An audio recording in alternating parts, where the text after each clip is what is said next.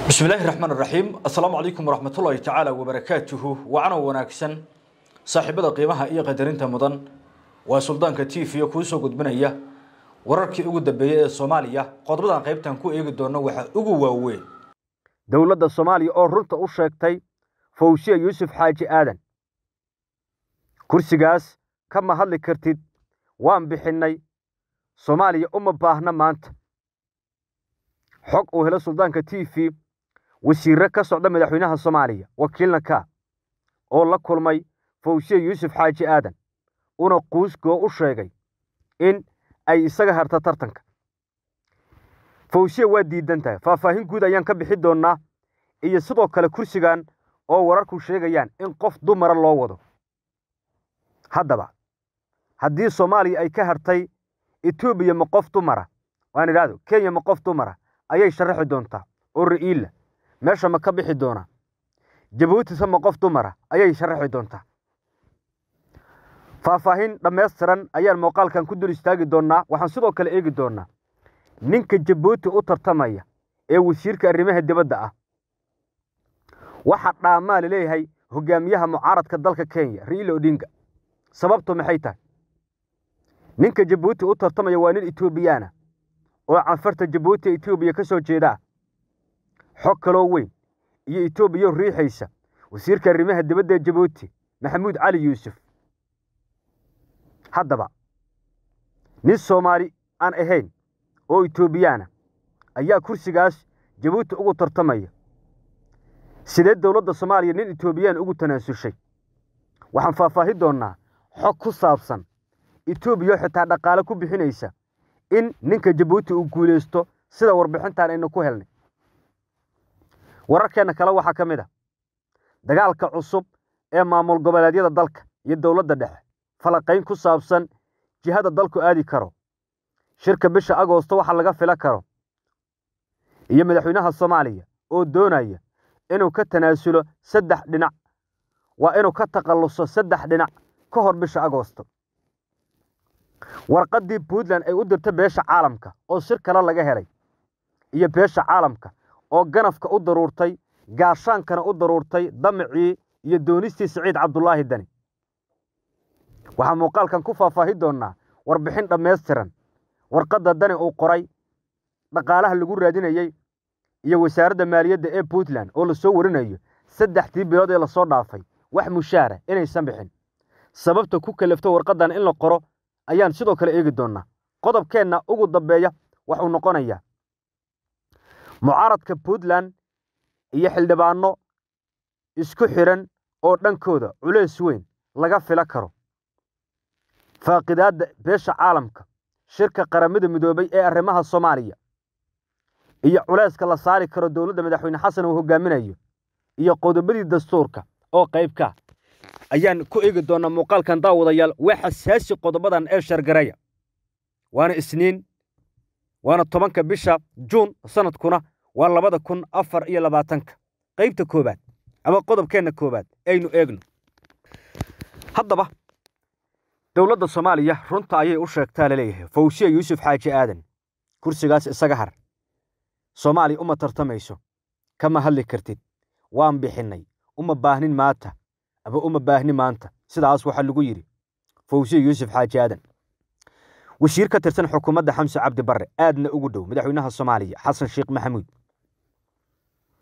ayaa la kulmay fawsiya farriin uu ka waday madaxweynaha soomaaliya ayuuna gaadhsiiyey waana u quusgooyey oo waxuu ku yidhi dowladda soomaaliya kursigaas way ka hartay. Uma tartamayso. Rajo kama qabto. Haddii aad diiddana kuma guulayso doontid. Ha isku ceebayn ee isaga har kursigan. Arrintaas waxay noqotay layaab ama kaag iyo afriir. Sida warbixintan ay nagu soo gaartay oo dad la kulmay fawsiya yuusuf xaaji aadan ay nooga sheekeen noo xaqiijiyeen. Warkan waa biyo kama dhibcaan fawsiye waxaa lagu yidhi kursigaas ma heli doontid kuma guulayso doontid isaga har. Innaga waa bixinnay jabuutiyan siinay sidaa daraaddeed rajo kama qabno inaan u tartanno mar kale. Fawsiya waxaa laga soo xigtay inay diidday guud ahaanba. Ooy ka soo hor jeesatay ballanqaadkii iyo saxiixii dalalkii horey ugu ballan qaaday. Intay ololaha ku jirtayn iyadoo gacanta ay ku haysata maanta. Wasiirkan wakiilka ka ah madaxweynaha soomaaliya oo la kulmay fawsiya fariinta ugu dambaysana gaarsiiye kadib markii kulankii hore ee madaxweyne xasan uu uga yeeray isaga iyo hogaamiye goboleed waa hogaamiyaal dowlad goboleed ee la joogaan oo loo sheegay balsey tiri waan ka soo fikirayaa ee markii ay diidday fikirkiina uu noqdo waan tartamaya waxaa loo soo diray wasiir saaxiibla madaxweyne xasan. Fariintou ka waday madaxweynaha ayuuna la wadaagay arrintaas ayayna ku noqotay utun fawsiya fawsiya waa gabar soomaaliyeed kursigan waxaa loo wadaa qof dumaraa loo rabaa. Qof dumara inuu ku guulaysto ayaa la doonayaa jabuuti waxaa u sharaxan wasiirkeedii. Kenyana waxaa u sharaxan raila odinga. Qof dumara ayaa la rabaa marka. Sida dad quburo ah oo xoog ogaal ah arrintan inooga sheekeeyeen. Arrintaa marka culayskeeda ayay leedahay waxaana muuqanaya in dowladda soomaaliya ay guud ahaanba bixisay kursigaas kana soo hor jeesatay oo dana siyaasadeed oo aan manaafacaad badan lahayn ay ku beddelatay taasoo la leeyahay waxaa laga yaabaa kenya inay soo sharaxdo qof dumar ah oo cusub. Jabuutina sidoo kale. Dad qubro ah oo xoog ogaal ah oo arrintan bilow la socday ilaa iyo hadda ayaa suldaanka tiifa uga warramay oo uga sheekay. Fawsiya ma rajo dhigin oo rajay leedahay oo waxay gacanta ku haysataa saxiixa dalalkii u saxiixoo yidhi waan kuu coday doonnaa miiska haddii aad imaato. Fawsiye marka talooyinka loo soo jeediyey waxaa ka mid a inay tartanto oo aysan ka heri kursigan maadaama afartan iyo dhowr sano hadda kadiba soomaaliya ay sugayso kursigan. Taas sidaa daraaddeed waa in ay tartantaa fawsiya sidaas waxaa qaba dadka talooyinka bixiyey oo suldaanku uu la hadlay waxay sidoo kale muujiyeen in rajo badan ay jirto iyadoo xitaa dowladda dhexe soomaaliya ay ka soo hor jeesatay musharaxeeda. Dhinaca kale markii aynu eegno muuqaallo ayaan ka diyaari doonnaa isla warbixinta fawsiya iyo musharaxa kenya sida maanta dowladda uga ololeynayseen ee ninka jabuuti ay u wadato tartankan. Waxa dhaama ra'iila odinga hogaamiyaha mucaaradka dalka kenya ayaa boqolkiiba boqol dhaamaa laleh oo uga wanaagsan soomaaliya maanta oo uga fiican. Sababtu maxay ta innagu dabagal ayaan ku samaynay maxamuud cali yuusuf asalkiisa. Haddii uu kursigan ku guulaysto waxa soomaaliya uu u tari karo. Waxaynu helna warbixin ah ninkan inuu yahay canfar etoobiyaan ah dowladda etoobiyana ay gadaal ka riixayso oo jabuuti ay ku taageerayso oo xitaa etoobiya ay kenya cadaadis saartay in jabuuti ay u tanaasusho warkaas waa biyo kama dhibcaan. Qofkii dood ka qaba ha soo xaqiijiya hadda. In etoobiya ay taageerayso maxamuud cali yuusuf. Oo ah nin canfara etoobiyaana biri ka maalinna dagaalka etoobiya iyo soomaaliya ee maanta taagan uga faa'iiday kara etoobiya sidaa daraaddeed arrintaas waa in dowladda soomaaliya ay ka hadashaa sababta kursiga uga hartay danaha muuqday ku beddelatay iyo sidoo kale ee dhaxalreebka ummadda soomaaliyeed in arrintani caqabad ku noqon doonto. Sababto ay tahay ma ahan mansab iyo magac dowladdii soomaaliya ayaa dana yar oo aad u liita dhaafsiisata kursi qaaliya oo wax badan loogu tari kara soomaaliya. Qubarahaynu la hadalnay iyo warbixintan baaritaankaynu ku helnay waxay noo xaqiijiyeen maxamuud cali yuusuf inuu ka halis badan yahay ra'iila odinga oo ra'iila odinga uu yahay nin boqor boqor dhalaya marka leesbarbar dhigo isaga iyo maxamuud. Sababtu maxay tahay? Maxay etoobiyaan uga hiliso soomaaliya? Inkastoo jabuutiyaan uu yahay oo nin jabuuti markaas xil haya uu yahay oo canfarta jabuuti degana jabuutiyaanka uu yahay laakiin asalkiisu waa etoobiyaan waana nin etoobiya maanta garab istaag xooggan ay u muujinayso dhaqaale ay ku bixinayso u ololaynayso warbixin dhammaystiran ayaan ku helnay in ninkaas dowladda etoobiya dhaqaale ay ku bixinayso. Sidaa daraaddeed dowladda dhexe soomaaliya maanta waxaa looga baahan yahay jawaab cad. Ma ahan war suuqeed ama ma ahan wax la dhayalsan karo. Arrintu waa sasantiif waana arrin u baahan in si cad dowladdu ay uga hadasho. Waxaan ka falaqay doonaa muuqaalada muuqaalada ku xiga waxaan isbarbardhig ku samayn doonaa musharaxiinta u tartamaya kale. Waxaan sidoo kale dul istaagi doonaa dowladda kenya. Waxay ka samaystay nairobi iyadoo madaxweynihii garab taagan yahay madaxweyne ku-xigeenkii joogo wasiiradii joogaan rayle odinga laso muuqaallo ayaan ka samayn doonaa iyo sida fawsiya ay maanta jilbaha uga oynayso oo garab iyo gaashaan ay ka weysay waddankii dowladdii iyo dadkii soomaaliyeed oo ay ku tilmaamtay inay yihiin dadan maantay ixtiraam iyo qadarin xitaa aan u muujinayn qodobadayna dambe ayaan ku eegi doonaa muuqaalada soo waan diyaari doonaa. Iminkana balaynu eegno. Dagaalka cusub ee maamul goboleedyada iyo dowladda dhexe. Jihada dalkuu aadi karo iyo shirka bisha agoosto oo lagu ogaa karo jihada dhabta. Bisha siddeedaad ee na soo aadan. Waxaa qabsoomaya siduu ballanku ahaa haddaysan ka bixin hogaamiyaashu shirkii madasha wadatashiga qaranka ee soomaaliya.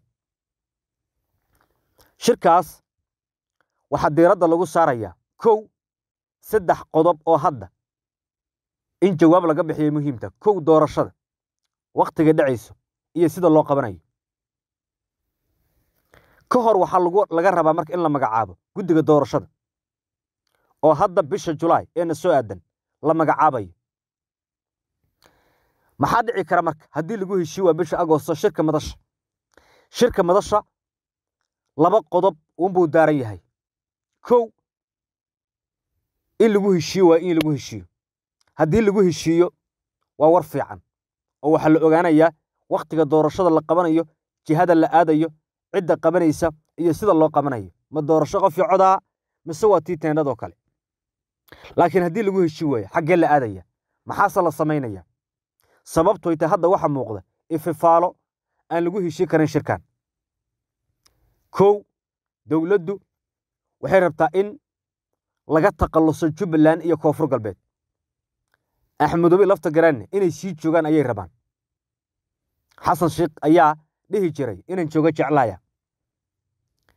Haddaba dowladdu waxay rabtaa doorasho booba siday xogtu sheegayso. Hoggaamiyaashuna waxay rabaan inay sii joogaan oo aan la boobin kuraastooda. Sidaa daraaddeed waa meesha koowaad ee hadda layska haystaba. Haddii marka maalintaas aan xalli helin jihada soomaaliya aadayso waxay noqon doontaa badbaado qarantuu in loo laabo karo.